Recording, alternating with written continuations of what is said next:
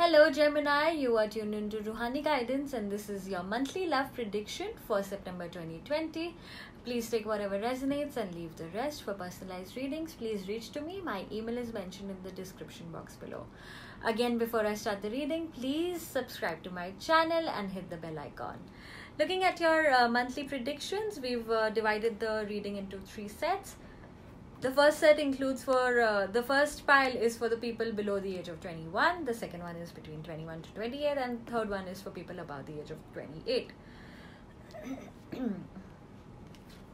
looking at the uh, reading for people uh, below the age of 21 three of wands you might want to take a break from this relationship because uh, you might want to discuss it with your family or friends or you might you might want to know others opinion about your boyfriend or your girlfriend and you know you you just want to know if you are on the right track.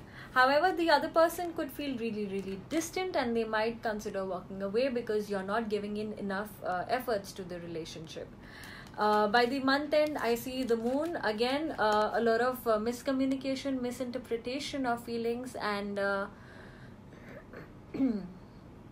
one of y'all could be really hurt with how the other one is behaving and uh, you could decide of moving away.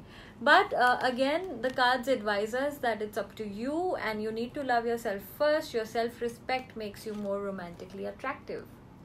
So um, i think you need to think a little more from your mind than uh, your heart and uh, try to sustain this relationship mm. For people between the age of 21 to 28, uh, you've got Nine of Pentacles coming as your energy. You want to give your person everything, everything that you could give. But uh, you may or may not be in a position to do so. The other person sees you as a soulmate, everything wrapped in one. Uh, soulmate, best friend, uh, advisor, everything. You are everything for them. And um, in the outcome i see that you are just going about it uh, very uh, very casually uh, both of y'all are working towards it but uh, you may spread yourself thin and uh, you know may not be able to give a lot of time to each other but uh, please please understand that this love is here to stay. And this is only a period of compromise where you compromise on time so that you can have everything later on. Getting to know each other as you reveal your innermost selves to each other your bond deepens. Definitely a in, an entire uh, zone of miscommunication for all my Geminis, where uh, you're not actually sharing your feelings with the loved one, and uh, they are uh, they're not able to understand what you want, why you're doing, what are you doing, and you know they might feel just a little hurt. For people about the age of 28, the High Priestess, you are not sure of this relationship, where you wanted to go. Maybe you are trying to reconcile with someone, but maybe not something that you would want to do. You're not sure. The person you're dealing with sees you as someone uh, they want to be with someone uh, you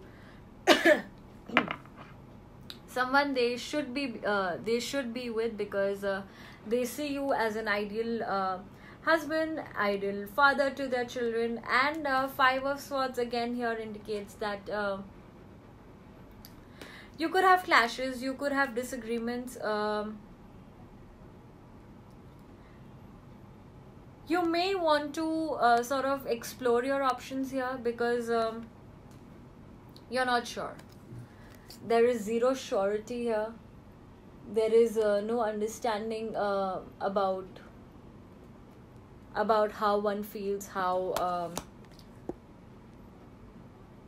how the other person wants the relationship to be. I think you're making one of y'all are making it very one-sided and the other person feels really suffocated. Uh, this may be because of uh, the influence of a new person new love. A new person has stirred your romantic feelings. And there's something better. So definitely i don't think you will be investing a lot more into this relationship but you might be moving uh, forward to someone else so, Gemini, this is your monthly prediction. If this resonates with you, please write to me in the comment section below. And until I do the next reading, stay home, stay safe, and stay tuned to Roohani Guidance.